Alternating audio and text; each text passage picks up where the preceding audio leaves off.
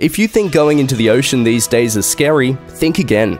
All we have to worry about is the occasional shark attack, the possibility of being stung by a jellyfish or rip currents. Way back when, the ocean was filled with beasts of astronomical sizes that had massively scary jaws that could swallow a human in one bite. Today, we're going into the oceans and possibly the odd river or two to meet some of these creatures.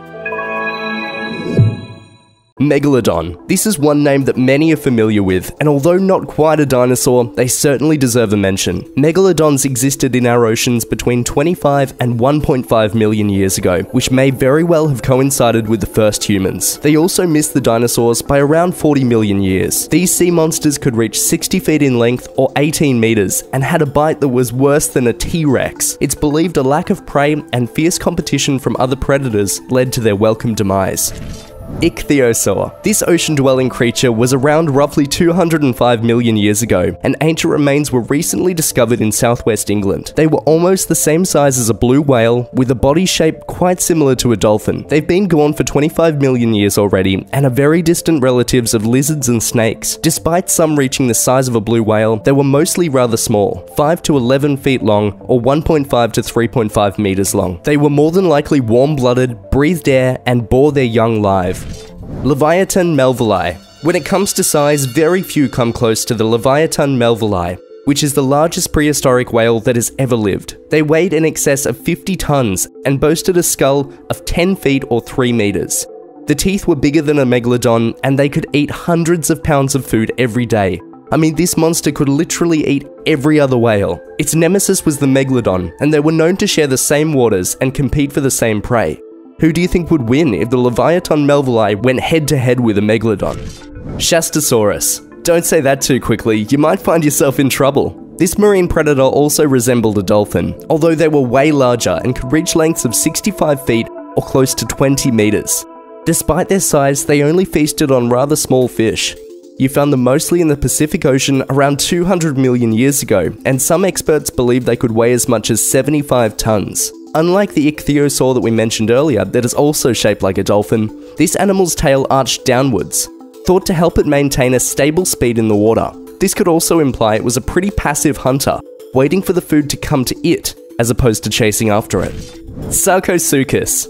Totally aware it's not a sea creature, but definitely a good addition is this 40 foot or 12 meter long Sarcosuchus. He also goes by the name of Supercroc and weighed in the region of 15 tons. Don't let its size fool you though, it actually led a very similar life to our crocs of today. You could find these beasts in African rivers and they would pounce on unsuspecting dinosaurs at the watering hole. Like I said, just like our crocs today who are waiting for their next animal, which is probably a kudu or zebra, the one big difference to today's crocs is that it's believed the Sarcosuchus never stopped growing, albeit very slowly throughout its life. Liopleurodon. This marine monster was from the Jurassic period, but you certainly didn't see him in Jurassic Park.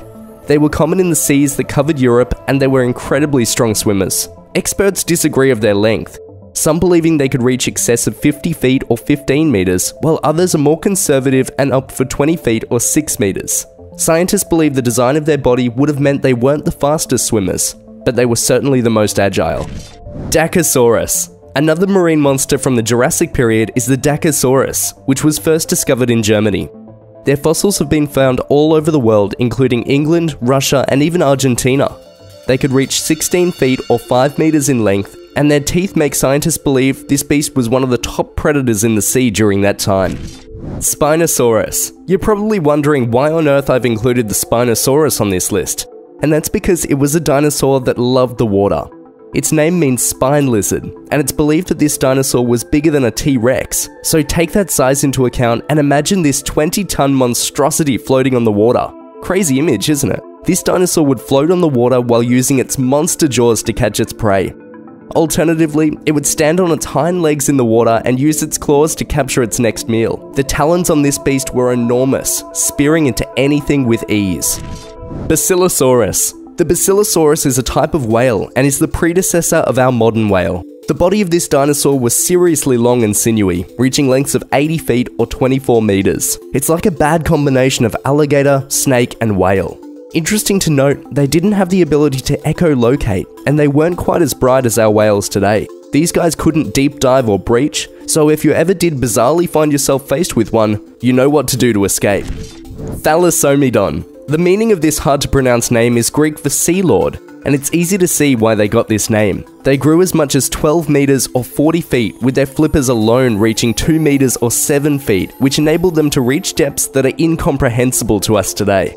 It was probably the top predator of the ocean until it lost that title to new and bigger predators such as the mosasaur, which we'll touch on later. Dunkleosteus. This sea creature is an excellent combination of everything you ever feared in the ocean. It has length, it has a mouth shaped like a guillotine, a highly muscular body, and a skull covered in thick bone for extra armor. As if it needed that anyway. Forget about teeth, it's more like rough extensions of their jawbone. And the ones in front were fang like, so they could slice their prey in half with one bite, and their eyes were protected by thick bone. Kind of makes you wonder how these guys actually became extinct. They had everything going for them in terms of protection. Tylosaurus. Closely related to today's monitor lizards and snakes, the Tylosaurus was a sea dwelling meat eater that reached lengths of up to 50 feet or 15 meters. They didn't just eat fish, but were known to go after flightless birds too, and even dine on other Tylosauruses. They certainly weren't very fussy eaters. They were around during the Cretaceous period, and were numerous in the oceans around North America. Jaekelopterus rhenani. That's just a fancy way of saying sea scorpion. Too bad there's no fancy way of saying be afraid, be very afraid. This armored 8 foot or 2.5 meter long aquatic arthropod would have likely been an apex predator, which is a predator at the top of the food chain. They were not found in the oceans, but rather fresh bodies of water, and it's not quite certain if they were venomous or not. But their tail is quite similar to scorpions today, so there's a fair chance that they were. They were surprisingly agile and could maneuver into awkward spaces, and were even known to eat each other. Nothosaurus. These aggressive hunters only grew to around 13 feet or 4 meters long and had a mouthful of spiky teeth that pointed outwards, which means they enjoyed a diet of fish and squid. They liked to take their prey by surprise by sneaking up on it and were swimming in our waters roughly 200 million years ago. Their lifestyle has been compared to that of seals today and probably had webbed feet to help propel it through the water. Plesiosaurus. It's rightly earned the name of Predator X and could have weighed in the region of 45 tons. This one was around during the Jurassic period and grew as much as 15 meters or 49 feet in its lifetime. The teeth alone measured 12 inches or 30 centimeters in length. That's the whole length of a ruler. It ate fish and squid, and the pressure of its bite was 10 times more powerful than a T Rex. Seems like the T Rex pales in comparison to some of these sea monsters and have a lot of making up to do. Thalattoarchon saurophagis. These beasts were on Earth 244 million years ago and were said to be as big as a school bus, and is an earlier species of the ichthyosaur. What makes this species remarkable is that they were alive shortly after the Permian extinction, which is the major extinction that wiped out 95% of marine life. Scientists are amazed at how quickly the ecosystem bounced back thereafter. The movie Moana would have been slightly different if the waters were filled with the Mauisaurus, who got its name from the Maori god Maui. This monster was known to swim in the shores off the coast of New Zealand, and the neck alone measured 49 feet across, or roughly 15 meters, which for a neck is insane. The neck was crammed with vertebrae, which made the animal extremely flexible. It was on Earth during the Cretaceous era, so any poor animal jumping into the water to avoid the jaws of the T Rex or Velociraptor had these to deal with. What's worse? I'll let you decide. Kronosaurus. Again, the jury is out to decide what the actual length of this sea monster was, but anything from 30 feet to 9 meters upwards seems to be accepted. It had terribly long teeth in its terribly big jaw, and those terribly big jaws could open to such an extent that could swallow a human being in one bite. With the addition of flippers similar to a turtle, it's believed they crawled up on the beach to lay eggs. Can you just imagine how that must have looked visually? Mind blowing. Mosasaurus. This colossal water monster was at least 50 feet or 15 meters in length, with a head like a crocodile and hundreds of razor sharp teeth, making a bite from this dinosaur lethal. They were known to eat fish, squid, other dinosaurs, and seabirds. Clearly not fussy. They would have loved eating humans. Fossils have been found in Europe and North America, including Alabama and South Carolina.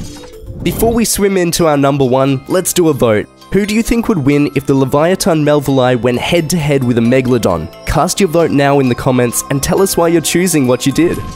Helicoprion. These lengthy sharks have a very distinct feature, and that's their lower jaw that looks like a circular saw. The teeth on the tooth whorl were also serrated, so anything in its path wouldn't stand a chance. It's not quite clear if the teeth were located near the front of the mouth or if they were further back. If further back, it would have lived off a softer diet of things like jellyfish. These guys also survived the Permian extinction, which we mentioned earlier, and they went on to live an additional million years before giving it up for good. Subscribe to our channel over here and hit the like button over here if you enjoyed this video. Thanks so much for watching.